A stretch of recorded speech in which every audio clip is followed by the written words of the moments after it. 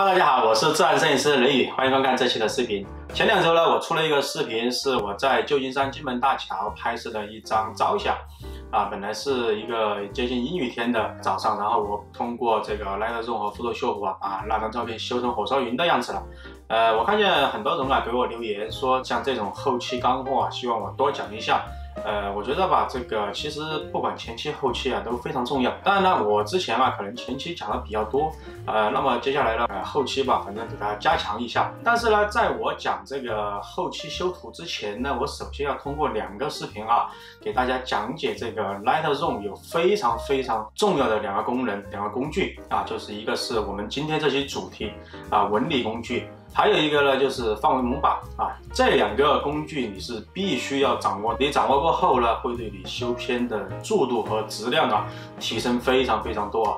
当然，这种纯教学的视频呢，我相信有兴趣看的同学啊，可能比较少，而且这个点击率可能也是非常少啊。当然，我现在点击率视频本来也很少啊。呃，不过呢，确实，如果你想学好摄影的话，这种纯教学的视频啊，一定要看完。虽然说啊，它可能看上去比较枯燥，是吧？好吧，接下来呢，废话也不多说，我们就直接进入主题啊。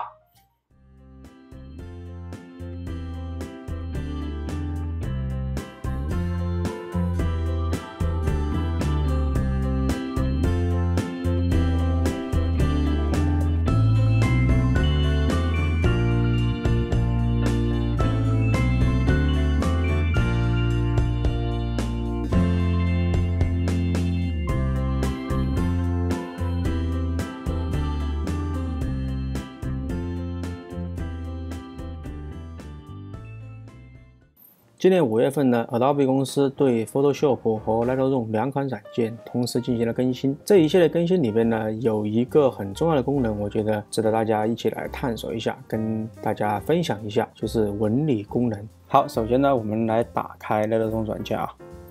好，我选择这张照片呢，来为大家讲解一下纹理功能。好，我们首先对这个照片可以进行一个初步的处理啊。啊，我们可以把高光降一下，然后阴影提上来，哎，大家看这个整体曝光了就差不多了。其实纹理功能呢，它也是锐化的一种方法。我们呢就是在 Lightroom 或者 Camera 里这个进行锐化呢，一般有三种方式。比如说我们用清晰度，好，我们也可以在这里啊进行锐化来处理。呃，这三个功能有什么分别呢？我简单讲解一下这个清晰度。和锐化，然后最后来来讲解这个纹理，大家就可以清晰的做出一个判断，就是它们三种有什么分别了。好，我们首先来讲清晰度。清晰度呢，我相信大家用的都比较多啊，从字义上就很好理解了嘛。往左了它就显得没那么清晰，往右了它就清晰了，是吧？啊，但是呢，清晰度，比如说我增加清晰，你看我如果拉过多的话，它整个画面呢就会显得比较脏，而且呢，这个画面呢整体显得很干涩，没有那么呃平滑，过度啊非常生硬啊。其实清晰度啊，大家可能还有没有发现的一个东西，就是你增加清晰度的同时。实际上啊，它的对比度也在同时增加，不过它增加的比较少，大家就可能没有留意。所以我具体实际上在使用清晰度修图的时候啊，我用的比较少。好，然后我们看一下面板下方这个锐化，我们先演示一下啊。你看锐化，哎，你看这个是不是锐锐利了很多？但是呢，这个锐化呢，它实际上是针对所有的这些小颗粒啊，都进行了锐化。你看这个石头，比如说我们来恢复一下啊。你看这些石头，它的细节小细非常小的颗粒细节啊，都凸显出来了啊。这样的话就是感觉画面啊就是太锐了。呃，我以前在使用锐化的时候呢，其实用的还是比较多的。这个锐化功能它是所有的小细节都增加了，所以说你就以前我在处我在用这个功能的同时呢，我会配合蒙版工具，还有就是这个去除杂色来同时使用。啊，但是呢，这个就会在效率上啊，相比对现在有纹理功能来说，就会增加不少的时间。而且啊，大家还没有发现的一个细节就是，你注意看这个天空啊，这个锐化，比如说我锐化很多，啊，这个天空它同时啊，它也会有一些噪点的出现。所以说这个锐化呢，就是呃，它的优点也很明显，就是让画面非常锐，而且但是呢，它也没有像增加清晰度那么干涩，就是对画面。改变非常大，但是它的缺点也很明显，就是它对所有的小细节啊，对所有的小细节它都进行了锐化，就是显得非常的生硬。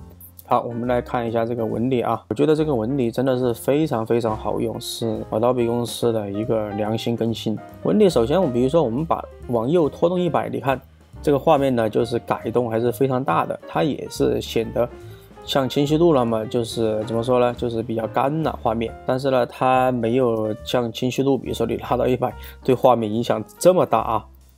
好，我们给它恢复一下啊。纹理实际上，你从呃专业词汇呢，可以说它是一个增加中频细节的一个功能。而且呢，我发现就是大家注意看啊，你比如说，哎，我增加，我即使是拉到一百，你看，首先这个天空它的噪点啊，几乎是没有增加的，它几乎是看不出来啊。你即使是现在放大到百分之百，也基本基本上看不出来，是吧？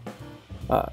呃，所以说呢，我就感觉这个纹理啊，它实际上有一定的智能选区的一个功能啊，我我感觉应该是啊，它只会对有细节的地方，比如说这些岩石啊、这些草啊、这些有细节、有纹理的地方来进行锐化，而这个天空呢，它就是基本上是啊没有变化的，你看，基本上是没有变化的，变化非常非常少。啊，但是呢，你注意看这个这个海浪啊，因为这个海浪虽然说这个浪不是很明显，但是你看它还是有一定改变，是吧？因为它有纹理嘛。但天空呢，真的改变是非常少的，它噪点也会也是没有，几乎是没有增加的。有了纹理功能呢，我清晰度就用的更少了。这个纹理功能呢，根据这个 Adobe 公司的官方来解释啊。它实际上更大的效果了，呃，它是针对人像来设计的，呃，因为我拍人像很少，没有没有样片，但是我看过国外的一些评测评测视频啊，呃，这个它对人像的磨皮效果是非常好的，如果大家有喜欢拍人像的朋友，可以去尝尝试一下啊。好，大家看过这个纹理工具啊，是不是非常非常好用啊？自从这个 Lightroom 更新纹理工具过后呢，我几乎是啊没有在 Photoshop 再单独做过锐化了，几乎是我全部的锐化工作啊，百分之九十吧，都只在 Lightroom 就完成了，所以这个就大大提升了我们这个修片的效率。好，如果你喜欢这个视频的话，记得一定点赞分享啊！当然最重要的就是订阅我的频道，每周一期摄影相关的视频。谢谢大家，下周见。